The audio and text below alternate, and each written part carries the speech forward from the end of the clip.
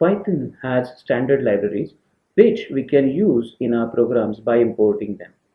We do not have to install those standard libraries separately as they come along with the Python. So once we install Python on our machine, we already have all the standard libraries available for us. So we can start directly importing them and use them.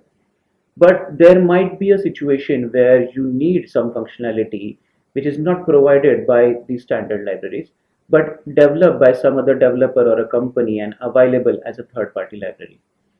And if you want to use that in your program, you will need to download it, install it, and then only you can import it in your program and start using it.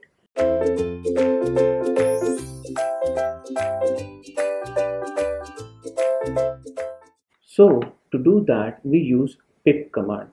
Pip is a Python package manager which allows us to install the package that we are interested in to installing.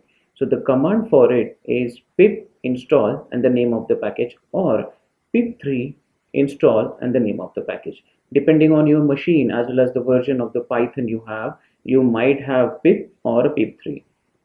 This command will actually look for the package name and search whether the package is available locally on the machine or not if it is already installed, it will just ignore it and just give a message that the package is already installed. If the package is not installed, it will look for the package in its own repositories, download that package and start the installation. Once the installation has started, it will also look for any kind of dependencies that the package is having. If there are any other dependencies which are not available on your machine, it will download those dependencies as well and install them. So let's see an example of this. To use that, we need to first confirm that we have pip installed on your machine. So for that, we can say pip hyphen hyphen version. If it gives an error that the command pip not found, that means we do not have pip installed on a machine. We have to install it.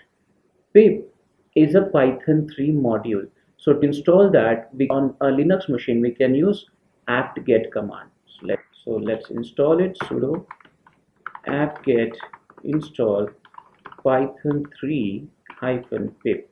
Since it's a python 3 module we have to specify the version. Press enter. This will start installing the pip on our machine